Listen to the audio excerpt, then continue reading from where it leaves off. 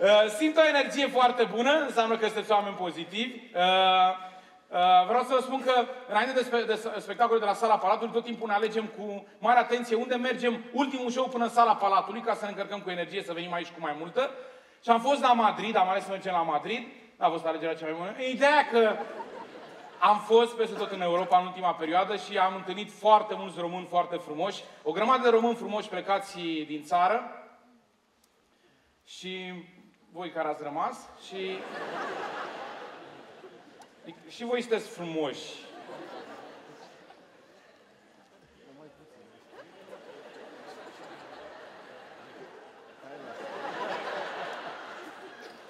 Știi ce zic? Adică...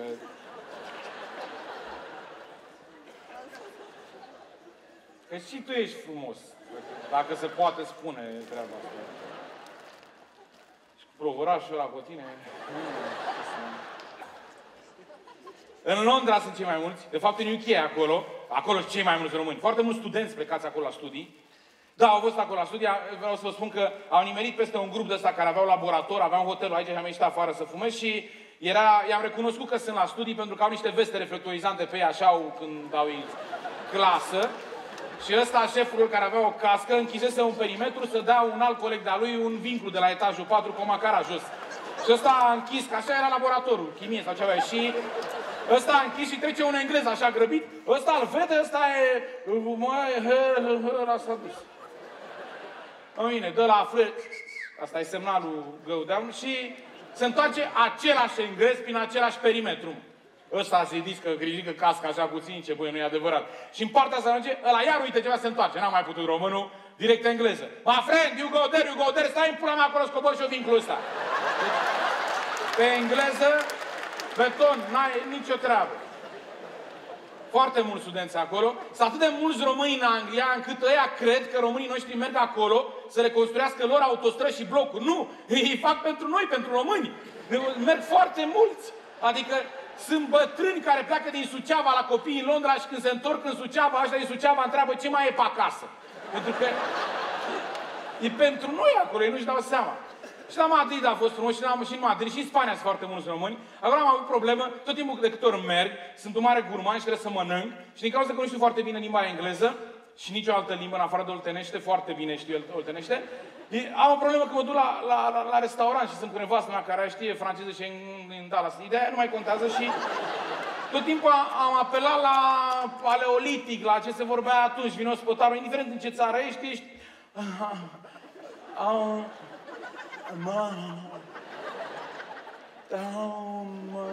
Știi, și nu înțelege, nu știu cum dracu nu înțelege că am fost la serbare la fie mea, am avut acum două zile, la trei ani, și am văzut o grămadă de părinți idioți, copilul apărea pe scenă și era Ututa pa fate, nu tu te duci. Și erau ăștia, dă timpul la mea, deci.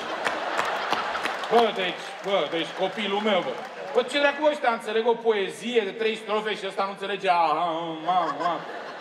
Deci nu, nu înțeleg cum e treaba, mă, cum ce ar trebui să le comanță. Și ăștia în Spania au un stil pentru că am stat să, să, să, să-i studiez pe diferite țări. Și în Spania, de exemplu, spaniolul e puțin agitat. Te pui la masă, el are pretenția că tu ești spaniol, nu că ești din altă țară, și vine la tine și începe. Uh, am un composit, aia asido e la oli, oli, pe mă face, să-mi face, să face de scuipă și foarte mult. Și dintr-o panică că ai impresia că omul spune ce i s-a întâmplat lui dimineață. Nu că e vorba de meniu, e pe bă, m-am trezit dimineața aia, plângea la mic, nu știu ce, pa, m-am urcat în mașină, dă am făcut și o pară, tu se oprește și vine să zici, de mâncare ce ai mă mâncați aș gura ta? Că n-am treabă. Adică nu e ca în Franța, bă, în Franța îmi place vine ospătarul frumos, grason cu mâna la spate, pa, se pune, și începe să zică, monsieur, maintenant, de flair, mais je le flouge, à son condomine remettez-moi plus comme tes flecs, et je me rends à me suze à mon flotouge, à mon tout le fleuge. Deux, trois ta minute, à mon tout cum ploati sur mon flege tuta. Știți, ești așa. Da, vreau. Nu te mai gândești ce zice ăla. E atât de frumos încât n-am mâncat neam de neamul tău, că n-a zis sarmale. Știi? Dar, dar e diferit, știi?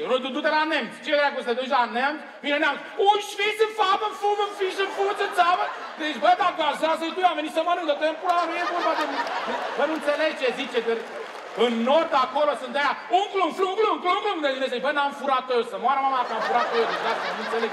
Deci, sunt pe panică, sunt grijă.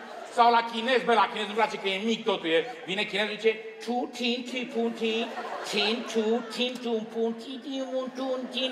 Deci vine să zici corect, dar porții mari dacă se poate. E bine. Nu e ca la, Japo la japoneze pe bătaie, vine la So, caine, toine, so, care? Deci vine să zici, ia mă, ține furculița de tempura să mă fac cu ăsta și pe aia mâncări. E, e pe altă zonă. Japonezul e pe ceartă. E hoi, hei, hoi.